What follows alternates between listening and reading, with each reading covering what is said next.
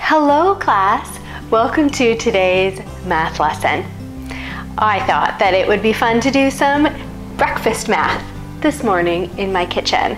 So you are gonna help me get my breakfast ready.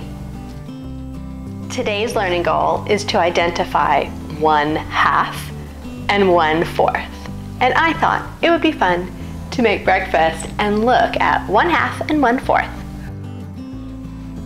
I am gonna pop some bread into the toaster because we are going to be looking at one half and one fourth with my toast.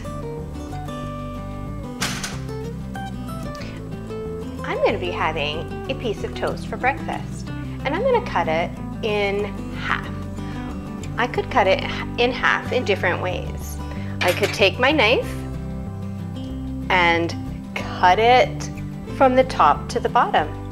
When I cut it in half, I need to make sure that both sides are equal. I could also cut it in half, cutting the top right off the bottom. Hmm. Could you think of another way I could cut it in half? What about from the corners and I could make some triangle pieces? Well, today I'm gonna cut mine in half this way. I am going to spread peanut butter on the top half of my toast. The top half of my toast has peanut butter on it. What should I put on the bottom half of my toast? I am going to put jelly on the bottom of my toast. When we divide something in half, we are taking one item and breaking it into two equal parts.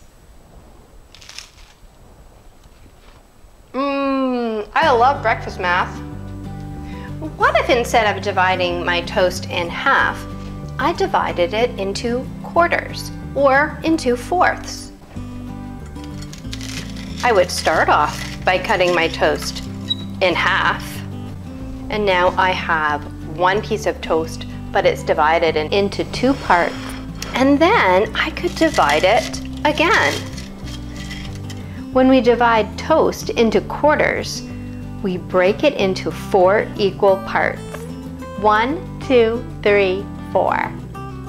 This is one fourth of a piece of toast. And I think I'm gonna put a dab of jelly on that piece. This is one fourth of a piece of toast. And this is one half. Mmm. Class, thank you so much for joining me today as we looked at dividing things into one half and into one fourth. I hope that you have a chance today to do some yummy math. You could divide toast in half or some crackers. Or maybe you could think of something else that you could use to divide in half. Thank you so much for learning with me. Have a wonderful day.